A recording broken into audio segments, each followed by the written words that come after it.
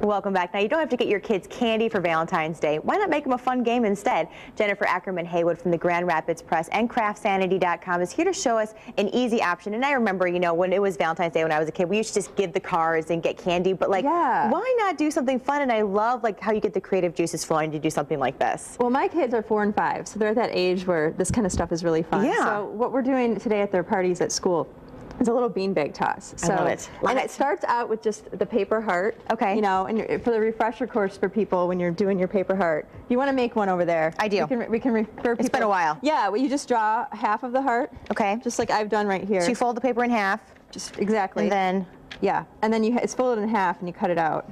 And this is, a, I mean, this is something that people probably remember this from back when they were in school making paper hearts. that's pretty good. Yeah, you cut that out. It's pretty good. And so the basically the pattern is what you make. So whatever you cut out, that's what you can use for your pattern for all these little bean bags.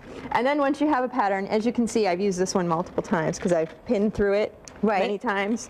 You just put it on, and I'm using polar fleece for this. The whole project is made out of polar fleece and a little bit of felt for the front. But then what you do when you get to this point, you just cut it out.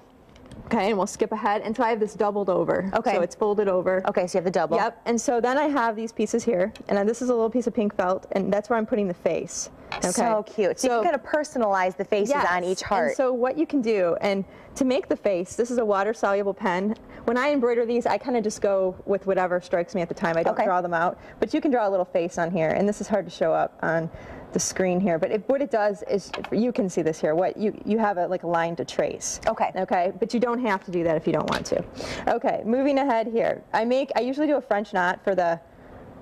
What, what that is is you put you wrap your thread around your needle a couple times, Couple and poke it back through, and then the rest of it. That's the hardest thing you're going to do on here. And you can also put X's for the eyes if you don't want to get real fancy. I can handle this one. yeah, yeah, and then easy, yeah. then you just trace that line that you made with the stitching. Okay. Okay. So you just keep doing that. This one I did the whole face.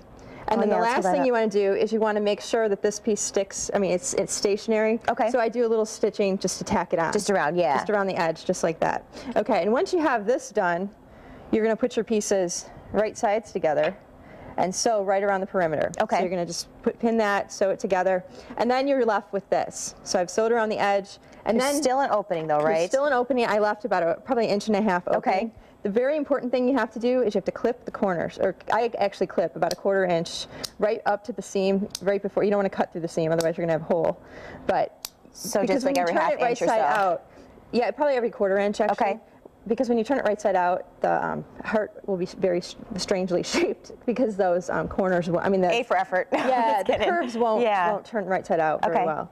So just poke this, and you can use a little pencil or something to help you, but usually use my fingers. Get your little fingers in there, yeah. Yeah. So, yep. And so to make your little and then I use rice or you can use beans.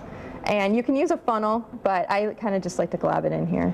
And fill it, people say, oh, how much do you put in here? Well, put it in until you feel like, you know, Well, you still want to be able to like, you know, squish it around Right. without it being like completely hard. Exactly, Yeah. because if the kids throw, happen to get hit with one of these, you don't want to be like a. Hey, there's always that chance. They're kids, you chance, so know. Keep that in mind. um, and then what you do is you close up. You just do a whip Yeah. stitch around the edge. Okay. And then to make this, you go back to that paper heart thing. And Yeah, I look like at to this, use newspaper for my patterns.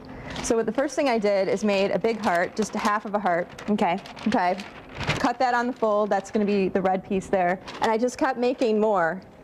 And do, you know, smaller and smaller. Right. I made the hunt, the Yeah. bullseye here. That's 100 points. I made it large because these are kindergartner and preschoolers who want everyone to feel like a winner. So normally that's your smallest point. I appreciate feeling like a winner even at this age.